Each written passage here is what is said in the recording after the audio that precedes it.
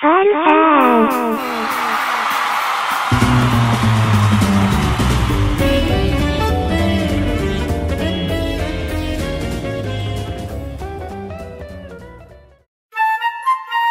こんにちは、パールです。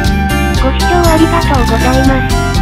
今回は、初めての川上巻オカリン道、頂上までの激しいダート区間の前半で、す。でに、帰りたい、戻りたい、戻れない、なぜ、こんな苦行にチャレンジしているんだろうと思うばかりです。